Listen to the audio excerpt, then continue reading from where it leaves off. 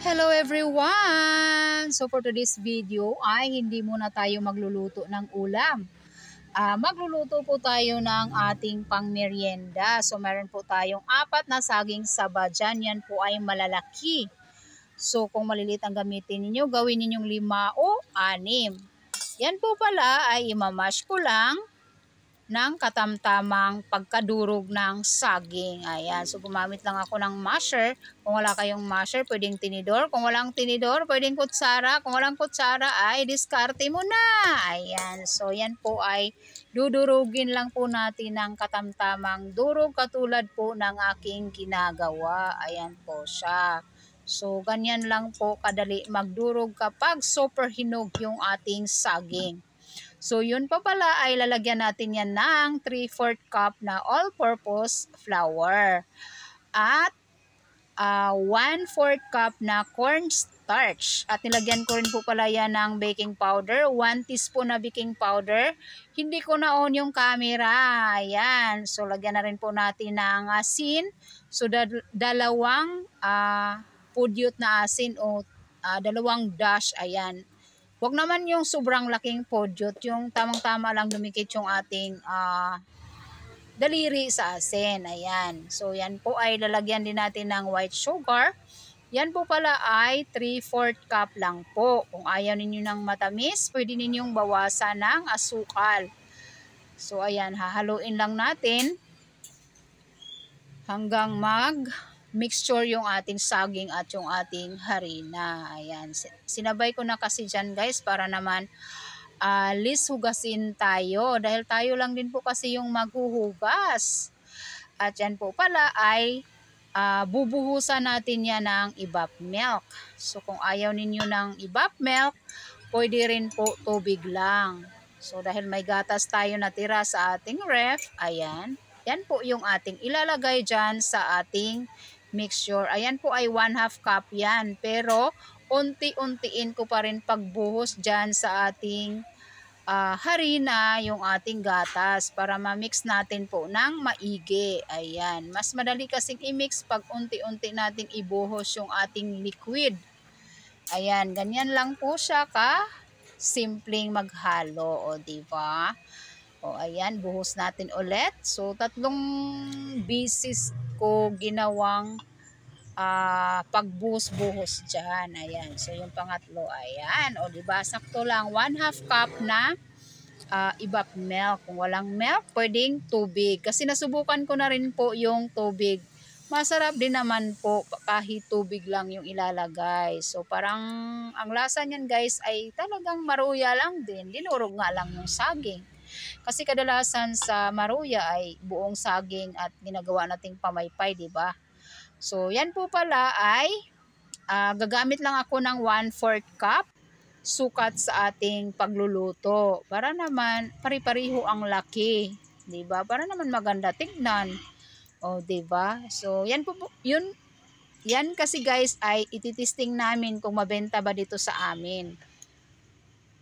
Kaya uh, talagang pinapare-pareho ko ang laki o ang dami. Okay lang hindi pareho ang laki, basta pareho ang sukat sa dami. Para naman fair sa atong customer, o diba? Sa atong customer, o diba? So, yan po palang mantika ay mainit na.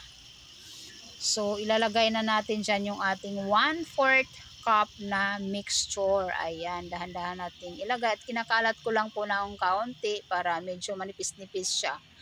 Ayan, masarap kasi yan guys pagka medyo malutong-lutong yung pagkaluto.